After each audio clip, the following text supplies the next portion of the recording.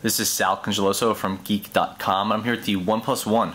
Just want to do a quick video. Uh, we're going to reboot the phone so we can see the startup animation and also see the reboot speed. So here goes. Unlock.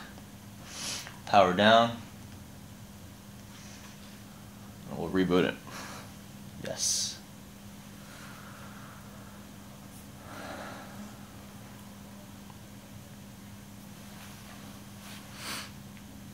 The OnePlus logo, powered by Android at the bottom there.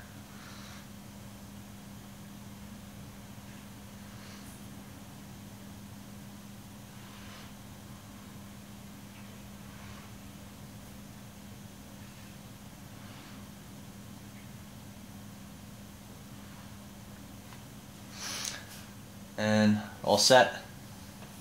The, uh, the phone is fully booted now. It does take a little while for that widget to get going. Uh, we're connected to Wi-Fi, everything works, but uh, we've seen some pop-in time for that widget. This is a pre-production version of the phone though, so it's not shocking that we're seeing it take a little bit longer than it probably should.